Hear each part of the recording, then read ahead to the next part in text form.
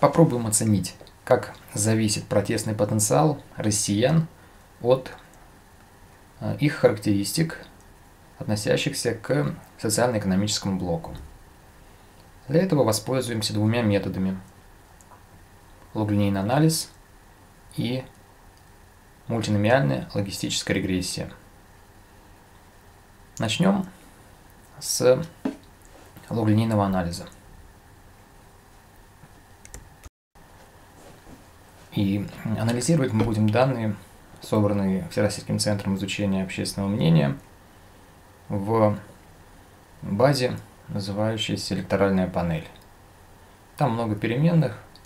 Мы будем работать только с семью из них. Здесь они представлены сейчас. Так, как я уже сказал, социально-экономический блок, поэтому здесь уровень благосостояния, в том числе субъективная оценка, оценка своего социального статуса, уверенность в завтрашнем дне, удовлетворенной жизнью и, собственно говоря, протестный потенциал. Протестный потенциал исходно измерялся по десятибальной шкале, поскольку людей, которые декларировали наивысшую вероятность участия в протестной активности крайне мало. Исходная переменная –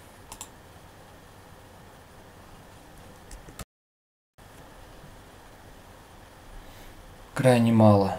И вообще, полюс высокого протестного потенциала, он достаточно мало наполненный. Поэтому эта шкала была преобразована. Поскольку эта шкала может быть расценена как псевдоинтервальная, и здесь каждая из градаций не несет какой-то отдельной содержательной сущности. Поэтому здесь разумнее было провести разделение таким образом, чтобы у нас было, ну, допустим, 4 группы по квартелям. 4 равнонаполненные группы.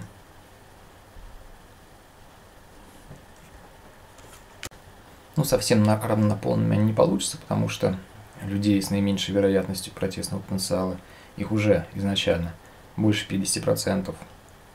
Но в рамках остальных градаций можно соответственно, было сделать три равнонаполненных интервала, что технически удобно для мультиномиальной регрессии, в общем-то и для углинейного анализа тоже хорошо, хотя гораздо менее критично.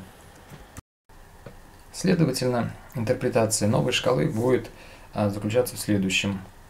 Первая градация – наименьшая вероятность, то есть люди, которые оценивают вероятность своего участия в протестных акциях на минимальном уровне – Затем